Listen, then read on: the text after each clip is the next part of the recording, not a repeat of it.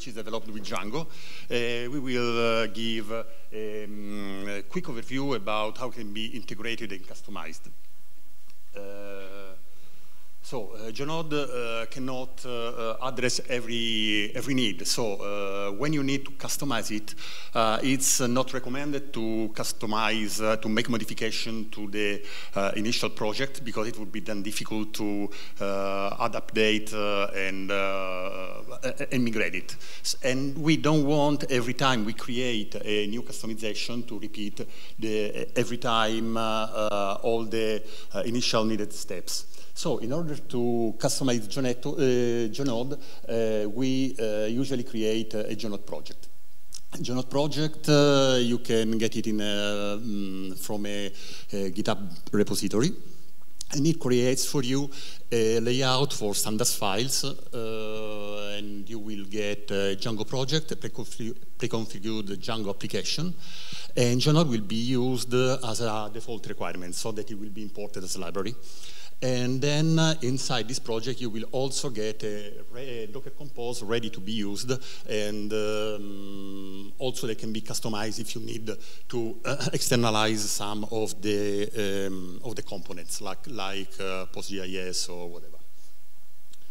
Uh, so what can you customize uh, with a GeoNode project? You usually can customize most of the thing uh, you need to modify in the application. So uh, simply look and feel, uh, the user interface, you can de define um, deeply uh, change the, the, user interface.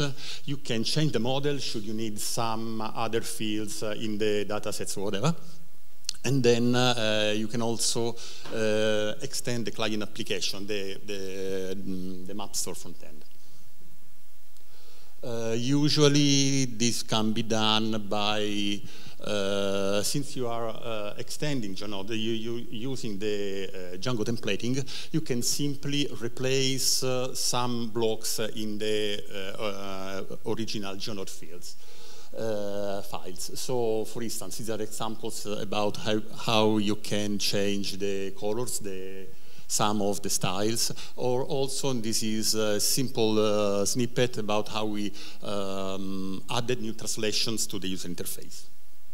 Uh, so these are quick some uh, showcase of some uh, uh, home pages that have been that have been customized. Uh, here for this portal we also had uh, different uh, filters in the home page which can be customized by the, by the administrator so also a little change in the model was performed here. Uh, here uh, we changed a bit the uh, MapStore interface, creating, uh, for instance, uh, is the um, graphs for the historical series, along with the, um, let's say, default uh, time slide widget. Here we use GeoNode simply as the backend because the, the whole um, GUI was re-implemented again from scratch. From other integration, uh, we use the Airflow for pre-processing some data and then ingesting uh, uh, this data into uh, GeoNode using its, uh, its own uh, API. Same for QGIS, you can perform something at QGIS level and then change your data inside GeoNode using the, the extended API. Uh, about other integrations, GeoNode has uh, acts uh, both as a client for uh, OAuth2 and uh, as uh, a provider. So for instance, we could have uh, a use case can be QGIS uses GeoNode for authenticating user, while GeoNode uh, uses the Azure uh, Active Directory for, uh, for authenticating them. So here the, both the client and provider parts are used. What if you have your own PostgreSQL? Can you use it? Yeah, but simply uh, you need to define a role for GeoNode and give the, uh, give the grants it needs for creating the various tables and update them when they are needed.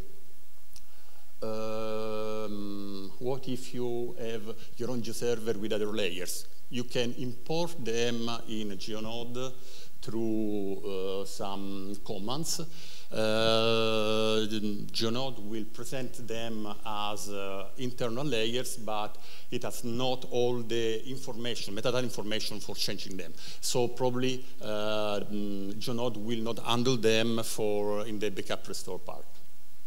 Uh, same, if you have your GeoServer which, uh, which you publish other uh, layers, you can uh, easily use this GeoServer as the reference GeoServer for GeoNode.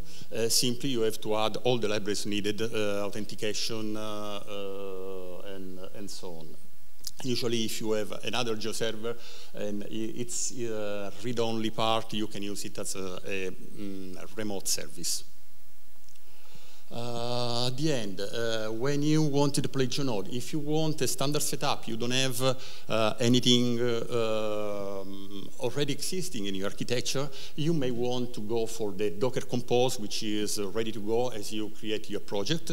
Otherwise, the manual setup is uh, usually um, uh, usually used when you have uh, different configuration, custom configuration, such as uh, multi-machine setups, or servicing on, the, on different machines, uh, if you want to integrate with uh, existing services. That's it. Thank you.